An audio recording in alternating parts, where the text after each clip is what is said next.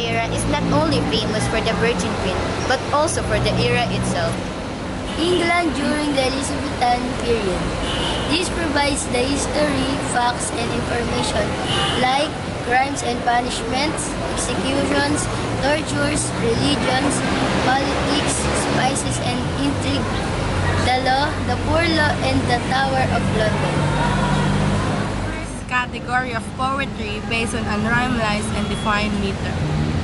It is a literary device defined as unrhyming verse written in iambic pentameter, in poetry and prose.